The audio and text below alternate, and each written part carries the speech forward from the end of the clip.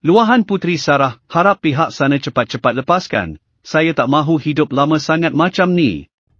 Mengikut tarikh yang sudah ditetapkan mahkamah, tinggal beberapa hari saja sebutan kes permohonan cerai dibuat Puteri Sarah kepada Syamsul Yusof akan berlaku iaitu pada 7 Mac.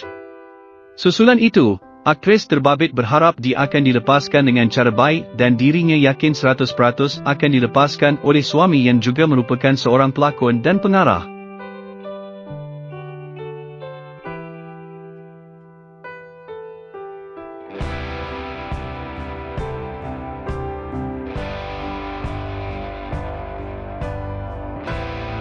Saya harap pihak sana cepat-cepat lepaskan saya.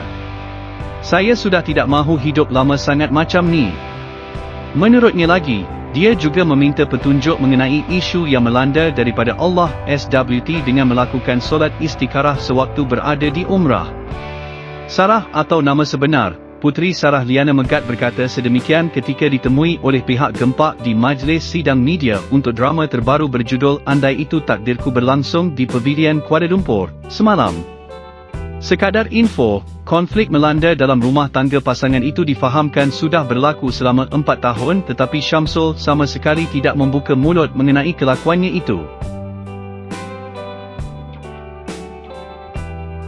Dah tonton sampai habis kan? Apa pula pendapat anda? Jangan lupa subscribe, like, komen, share dan aktifkan butang loncengnya untuk notifikasi video terbaru dari channel ni.